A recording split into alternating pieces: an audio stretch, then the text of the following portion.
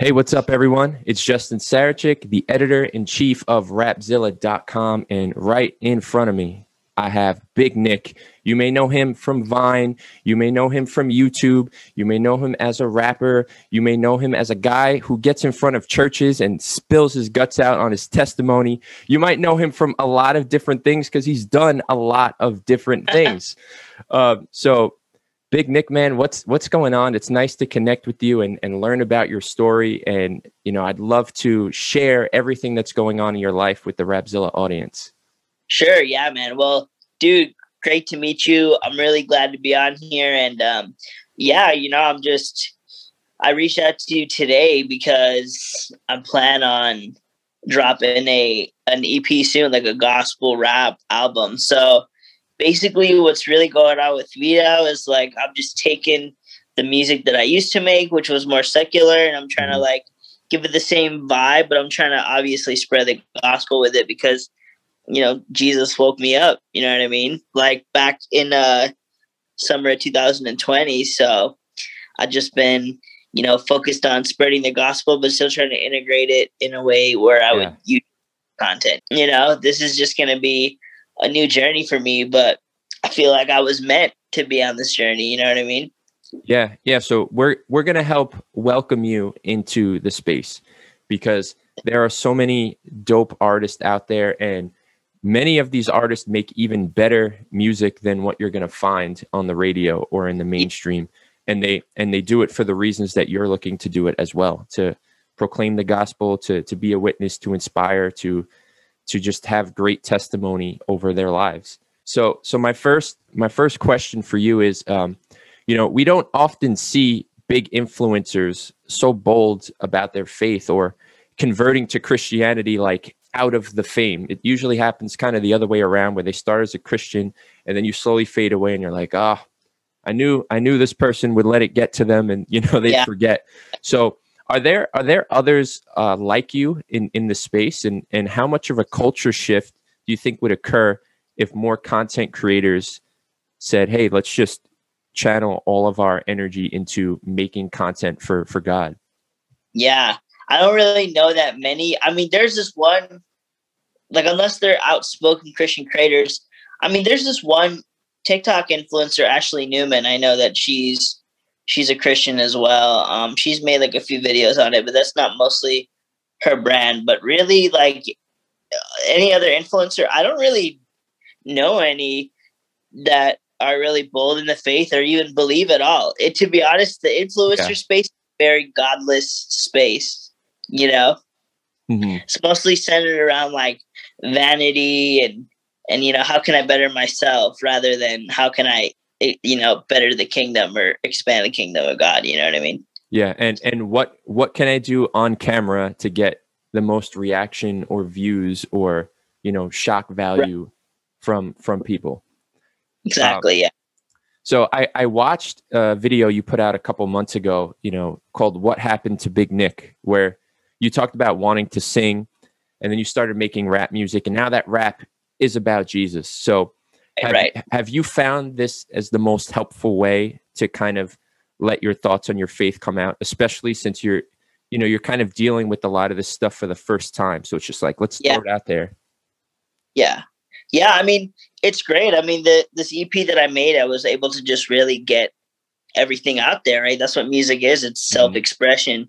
Um, I mean, I've been preaching the gospel on TikTok as well, but I haven't been right. able to do in an artistic way until recently.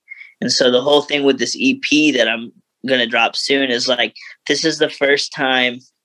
I mean, I made already a gospel song called Hope, which is my first one, but this is the right. first project that I'm dropping. And it's the first like time I've ever really made a project thinking like, okay, this isn't for me. Like, this is for Jesus. You know what I mean? And hmm. I'm just blessed to be able to have the talent that God gave me in order to display that. You know what I mean?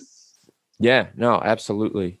And you know, is it is it kind of hard to move forward on things like this without people thinking that everything is a skit or scripted or or for attention? Like, for instance, like you're not the first content creator who's like, hey, you know what? I'm gonna rap. Like you have the Paul brothers rapped and did songs, and you have Yeah. so many other people. So not not only are you now starting to rap, you're like my rap's about God. Um, Yeah, So what what's that whole like dynamic been like? Yeah, I mean, a lot of influencers got into the music thing for the views, but I'm more Right. in it for the.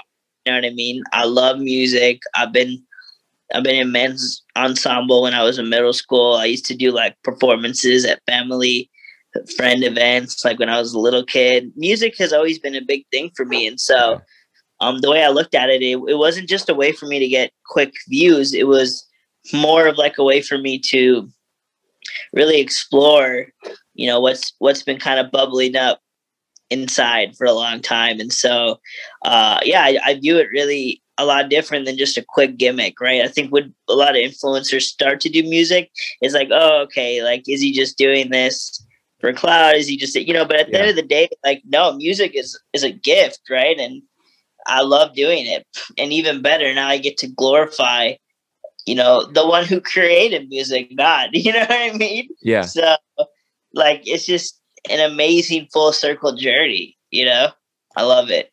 yeah, and you know, I I heard I listened to a couple of your tracks that you have up, and specifically your your newest single too, and like you Mhm. can tell, like you actually know what you're doing, and Mhm. and it's like sometimes you click on the song, you're like, oh boy, like what what am I gonna hear? Like this person is not known for music at all.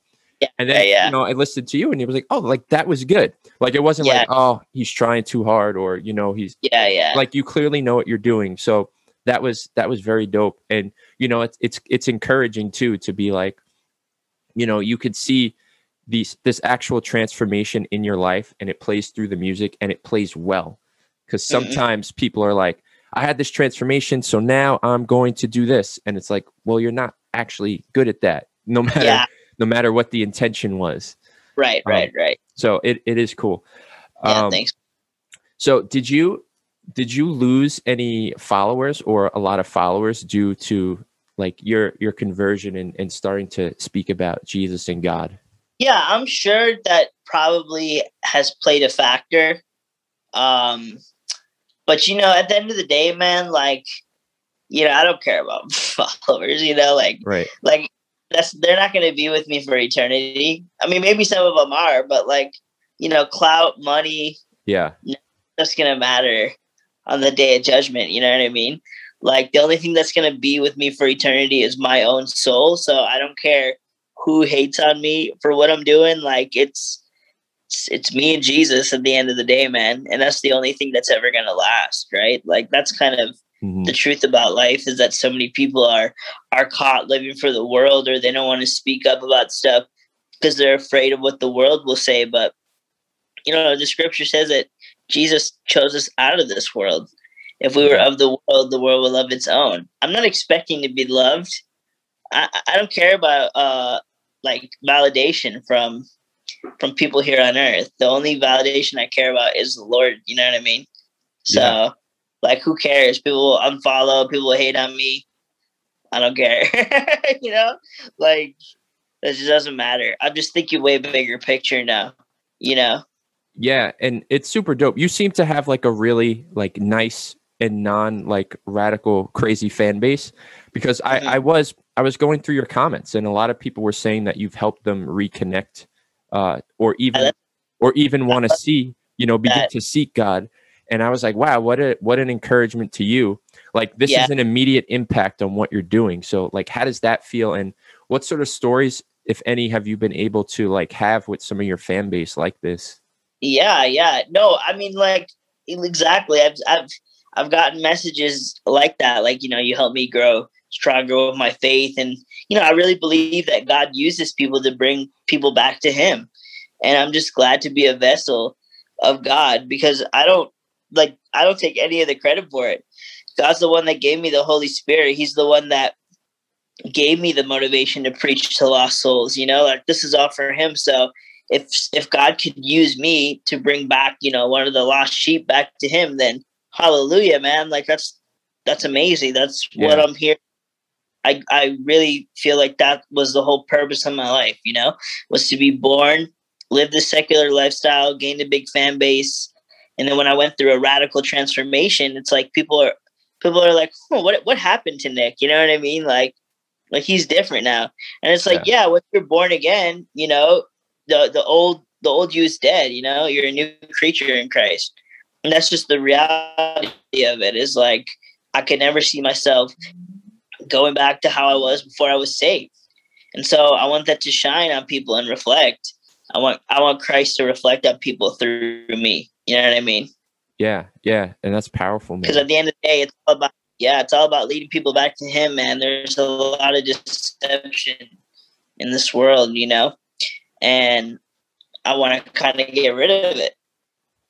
So, so when when did goal. when did this? Um, I know you had said it happened kind of over uh, quarantine and, and COVID, but like when was I guess the exact time frame when you when you changed your your life or you turned your life around? The exact time frame I would say was like I would say like summer of 2020, like maybe mid June, July.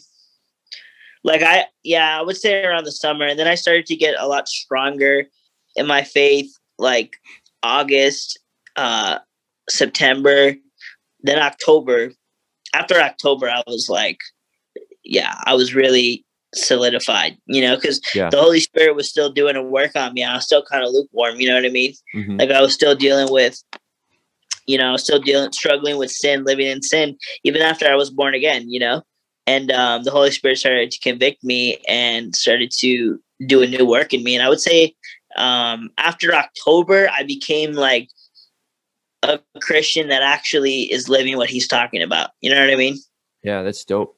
Was, was there I, I know you you talk about having that dream, and we'll we'll get there in a second. But was there was there like a particular moment where you like woke up one day and you were just like, "Hey, like what am I doing? Like this is what I need to be doing." I I had that dream, and it's mm-hmm. time to like follow what I saw in that dream. Yeah, like the dream for me, it wasn't a wake up call for me at the time, but right. once I came to the realization that Jesus is real, I definitely went back on that experience and I'm like, oh, it was right there the whole time, you know? Mm-hmm. I just didn't I just didn't see it. And so like it's just a beautiful story because it shows that like God never gave up on me and he hasn't given up on, you know, the viewers who are watching this, he hasn't given up on you either, you know?